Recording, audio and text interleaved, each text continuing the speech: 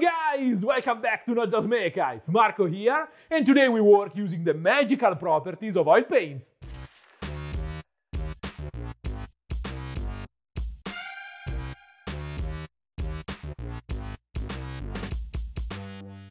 Most of the time a title like this is just an effective clickbait, but what if this time it's actually true?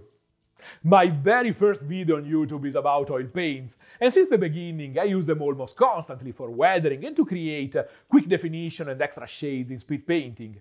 But I made only one video where I paint a model from start to finish with oils, and that was almost one year ago. Well, this madness ends here. I painted the shaman in about uh, 3 hours with brushes and oil paints, using only a very simple and beginner-friendly approach. That in terms of complexity, I'm not afraid to compare to the basic based on wash, highlight of acrylics. But I think the result uh, speaks for himself about the difference in efficiency of the two processes.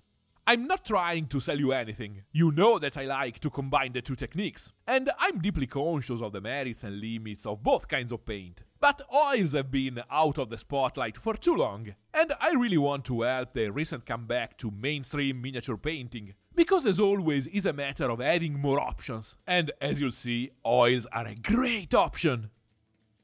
Don't forget to subscribe and hit the bell button to always know what happens on the channel. And if you want to support my work, like, comment, share, watch another video, and maybe check my Patreon page, where you can find the real-time footage of my videos with every single little line and brushstroke. Thanks a million, guys! If you want to try oil paints, you don't need any particular precaution in the preparation stage. And you can prime your models like you always do, without uh, changing a thing. I prime with the same black you have seen me using dozens of times, and I do my usual zenithal light with white ink, like uh, you have seen me doing dozens of times. Nothing changes here. You can easily start painting over a simple full white primer, but I think that a zenithal light is a more beginner-friendly starting point, because you get a clear map of the volumes that you have to create later anyway, and in general underpainting techniques uh, are an integral part of oil painting. Another beginner-friendly but absolutely non-mandatory step is to fix a couple of base tones with acrylics. And the tool you choose for this step doesn't really matter. The objective is only to have a few colors on the surface. To limit a bit the volume of oil paint, you'll need later to obtain the opacity we're used to, and we naturally look for. So you can use uh, standard acrylics or inks, contrast paints and similar products. Just choose the paint you are most comfortable with uh, to get a quick, simple light base tone on the parts where you feel the need of a more opaque starting point. As you can see, nothing fancy or complicated here, even in terms of visual output. Before moving to oils, I want to reveal the two key foundational ideas that you have to keep in mind throughout this video and all your future work with oil paints. First revelation. In almost every aspect, oils are acrylics in reverse. This is obviously an oversimplification, but when in doubt, this loose concept can save you a lot of trouble. They dry slowly, light colors are more opaque than dark colors, thick paint is better for large blendings, and diluted paint is better for sharp details, and so on. Second revelation. This. This is a powerful mental image for oil paint's behavior. Because more or less everything revolves precisely around this the direct application of thick paint and its spreading. And even the actual movements of the brush are quite similar. I want to jump into the real work and I don't want to talk too much about materials here. So, if you need to know more about uh, what you need on the table to start painting in this way and how this medium and its tools work in general, start from this super comprehensive video up here. The only updates I made to my setup since that video are moving from a glass palette to cheap paper disposable palettes that make cleaning much easier, and upgrade my palette cap to a version with lids. A little thing that makes a lot of sense considering the long life of the palette itself. So I can keep the same tools and materials on the table for days without moving or cleaning anything. In this stage, my palette is entirely made by deep dark colors, and I'm going to use them to set my deeper shadows and all my dark definition from the very beginning. They came on the palette directly from the tubes, without any extra preparation, and I used just a teeny tiny bit of white spirit to thin them down, where I feel that the consistency is a bit too dense. But it's not so uncommon for me to use the softer ones straight from the tubes, especially in the advanced stages. The true objective of this step is to envelop the model in a general coat of oily medium that will improve the grab of the next layers of paint like a sort of wet primer, making every part of the model an active and reactive surface, where the colors can move with a proper wet on wet behavior, and the brush can slide on the oily medium like a skater on ice. More old school painters tend to do this step, using a uniform color almost identical in value and tone to the one used for the acrylic base, to start painting with the same mid-tone but with the oil's properties. But as you know, I'm obsessed with efficiency, and I like to obtain as much as I can from a single step. I want to be super clear. I didn't invent anything here.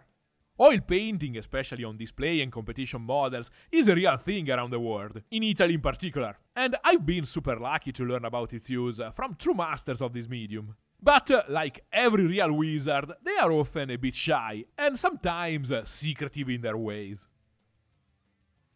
I was uh, really surprised when I discovered the work of James Wappel, and how much we streamlined some steps in a very similar way, especially when painting gaming models. James is for sure the most active of us in teaching and spreading the oil's way. So check the links in the description to find a ton of extra great, uh, super informative content about this topic.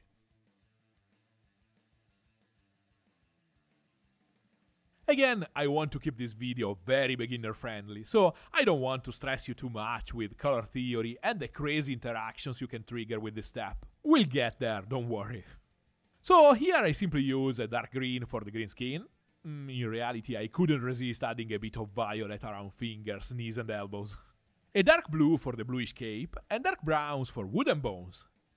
And since I want a colorful flow of tones on the magic smoke, I put in sequence red, magenta, violet, blue and green on top. I know, this seems a mess now, but watch this. Like I usually do with oil washes, I use uh, makeup sponges and q-tips to remove the excess of paint from every open surface, but leaving a ton of wet, active paint inside the details. As a bonus, thanks to the thick consistency of the colors and their heavy load of pigments over a matte, porous and receptive acrylic surface, everything remains stained by a nice transparent base tone perfect for that area. Even if uh, you remove most of the paint, everything is still covered by a thin oily layer. Because uh, you can't simply take off everything of that kind of substance simply rubbing without a solvent chemically acting on it. Anyway, like working on washes, be gentle in this stage. You are moving wet paint that doesn't really fight or resist you, and you have only a couple of acrylic layers enduring all this external physical stress. Here you can see the small number of consumables I used, and my bad management of the spongy surface. Usually I just use a couple of q-tips for the most hidden spots, but here I needed a few more because of the strong undercuts of this model. Let's be honest, this is already quite interesting. All the preparation is done, and we can move to the fun part. I add to the palette my lighter tones, setting the entire pool of colors I'll use until the end and I finally start painting in a more classic way. I have a couple of pointy brushes for mixing and the application of paint, and few blending brushes in different sizes and shapes that will remain dead dry for the entire process without ever touching the thinner. White spirit is a powerful solvent for oils, much more powerful than water for acrylics. So I use it only minimal, microscopic quantities to adjust a bit the consistency of the thicker colors on the palette, and to clean the application brushes when I need to jump between extremely different tones, that's all. With experience and more uh, general control, you'll start using often the same brush, both for application and blending. But if you are a beginner, start with the super strict two brushes technique. This uh, little thing will make your life incredibly easier. And uh, you can thank me later. To clean the blending brushes, I simply rub them on a piece of paper towel. This is uh, more than enough to remove the meaningful excess of paint, keeping them dry. Remember, these are not acrylics, and using paint with a good density and thickness is the core of this technique. Despite all these recommendations, the actual work is the simplest and most uh, straightforward you can think of. You take the paint from the palette, you slap it without any crazy precision where needed, and you blend it on the surface, or directly with the other colors of the gradient you want to create. There's no need for multiple overlapped layers to fake a gentle progression. And you don't need to glaze dozens of thin transparent layers to obtain smoothness. Gradients and flowing colors come from gently spreading around the initial blob of paint. Remember, always keep bread and butter in mind. Thanks to the previous steps, I've already in place the darkest shadows that contain a ton of interesting colors and the dark definition they create. So here I need only to quote-unquote color inside the borders. And every time a new color gets near those shadows, it naturally blends with the wet paint, creating a gentle progression from light to midtones and shadows. The blending brush is your main weapon, the tool that makes uh, all the real work. You can uh, gently dab it to blend the paint on the spot, or use uh, long brush strokes to spread it with a precise vector. But remember that to better control the blending process, the pressure you apply is a bit more important than shape and direction of the brushstrokes. A secondary but uh, not less important work that the blending brush does for you with this movement is to fix the texture and the finish of the paint. I'm using a thick paint that easily catches the shape of bristles and brushstrokes, and while blending I can easily erase those marks. Plus, using the dabbing motion, I create in a microscopic level the texture of matte paint, that's why, even on screen, you can see that the model is never really shiny or glossy. And thanks to this, everything will dry quite matte.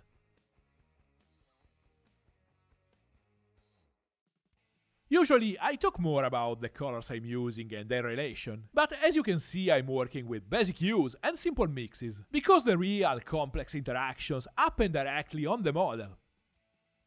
I believe that in this case, the most important part to deliver is in the brushstrokes, the flow of the work and its stages.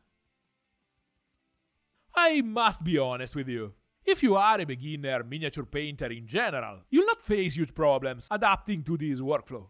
But if you are coming from years and years of acrylics and traditional wargaming techniques, well, your first experiments are going to be tough. Because again, all your world will go upside down the good thing is that, uh, thanks to your experience with brush and paints in general, your learning curve will be extremely steep. And you'll find yourself giggling at the table and asking, uh, why the hell don't I always paint like this? This is happening to me right now. I want you also to be aware that everything you see here is just an atom, not even a molecule of the tip of the huge iceberg that is oil painting. And of course, there is a lot of my personal way of understanding and using the medium.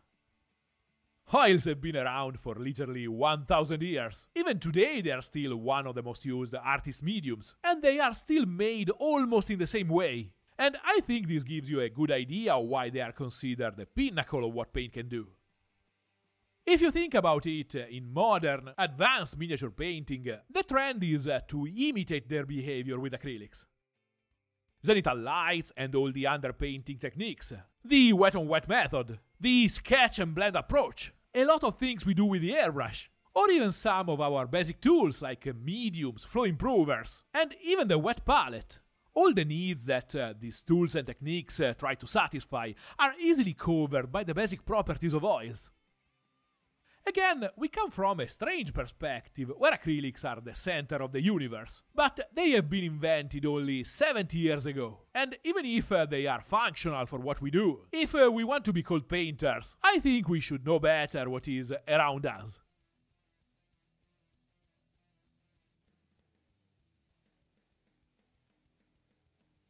I put a lot of emphasis on large, smooth blends, because uh, that is what is perceived as a difficult part of brush painting in acrylics. But oils can also easily cover textures and sharp details.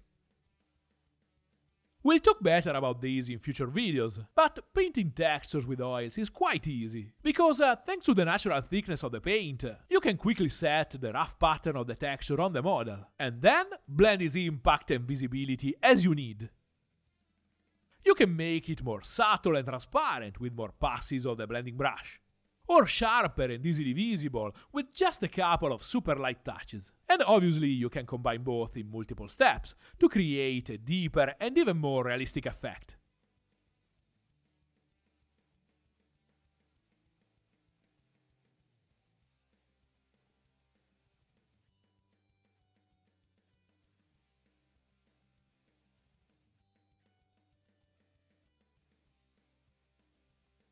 Painting uh, sharp lines and edge highlights, I simply add much more thinner to my paint, reaching the consistency of a fluid acrylic.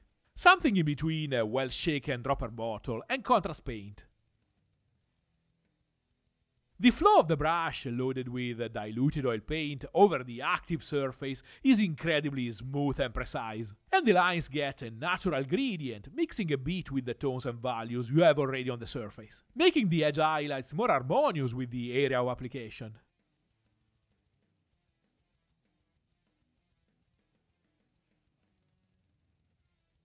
As a final note, I know you are worrying about the drying time, but really, don't! Oils dry slowly, that's true. But the idea that this takes uh, weeks or months is true only for canvases, where it's often used a crazy mass of paint, like entire tubes sometimes. With an application like the one I used here, the model will be completely dry in no more than a couple of days. And if you follow the link up here, you can discover how the process works and how you can speed it up.